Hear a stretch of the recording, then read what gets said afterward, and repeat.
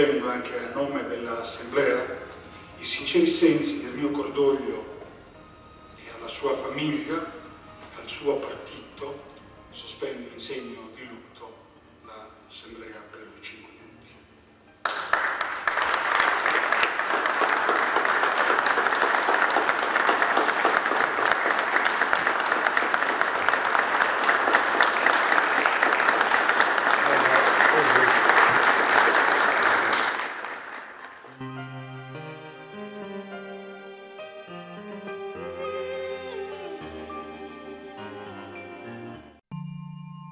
Siamo in compagnia di Tore Madu, l'assessore Tore Madu. Beh, certo una grave perdita per la Sardegna. Sì, la perdita di- dell'onorevole Mario Melli sicuramente è una perdita non solo per i suoi familiari ma per la politica sarda, sicuramente un personaggio che ha difeso gli interessi della Sardegna in tutte le sedi, in tutte le occasioni nelle quali eh, egli ha avuto la possibilità di rappresentare quest'isola, cioè sia non solo nel Parlamento regionale ma anche in quello nazionale e in quello europeo della- di Strasburgo. Io credo che eh, molte, tanta sua attività sia di esempio e sia eh, come dire, riferimento importante per quanti vogliono avvicinarsi alla politica, cioè amore per- verso la propria terra, attaccamento ai problemi, eh, conoscenza dei problemi reali e soprattutto capacità di difendere con dignità a qualsiasi livello questi interessi senza eh, subordinarsi ad altri speci- specifici o personali interessi.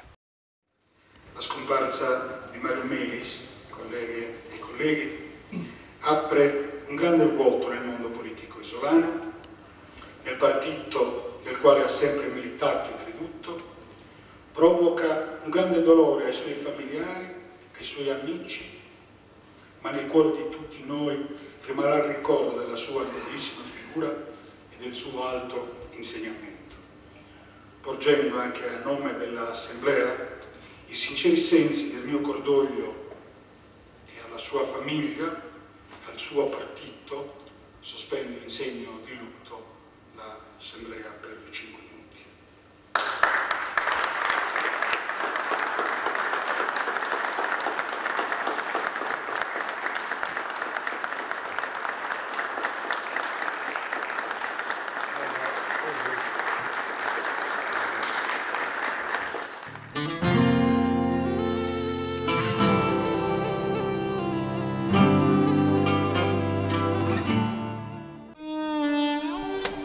Questa zona si chiama Transatlantico. Beh, qui insomma ci si può sedere e parlare del più del meno. Intanto noi abbiamo un altro ospite eh, che è lo- l'onorevole Cassano. Ben trovato, buonasera. Lei fa tanti chilometri da Ossi per venire qui a Cagliari e questa insomma è una cosa importante. Poi oggi so che di importante si è parlato in Consiglio regionale anche di problemi riguardanti l'ASL.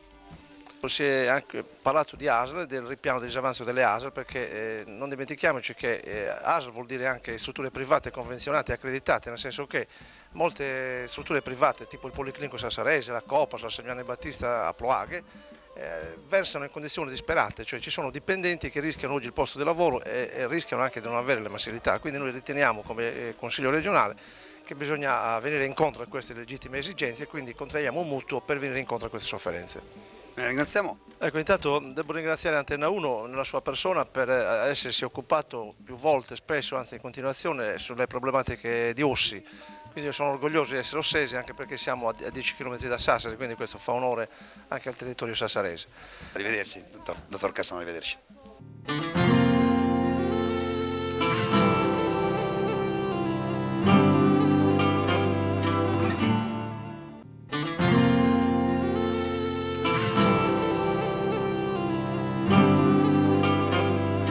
Abbiamo esordito eh, quest'oggi, avete visto, eh, giocando un po' su- sul porto, cioè non siamo dietro il porto di Porto Torres, bensì ma dietro quello di Cagliari. E beh, noi si ritorna in qualche modo a Porto Torres perché abbiamo un personaggio del mondo della politica che c'è molto caro, devo dire, che è Beniamino Scarpa di Porto Torres. Che sta succedendo oggi? Oggi so che è una giornata importante. Sì, oggi è una giornata delicata, è in votazione eh, un provvedimento importante per la sanità e subito dopo eh, riprende la discussione sulla legge elettorale, che è un argomento, avete letto sui giornali, molto delicato e spinoso. Insomma, Lei vediamo. che ne pensa? bella, do- bella doma- bella domanda. Eh, credo che sarebbe opportuno che il Consiglio regionale facesse una legge elettorale sarda, attenta alle specificità sarde.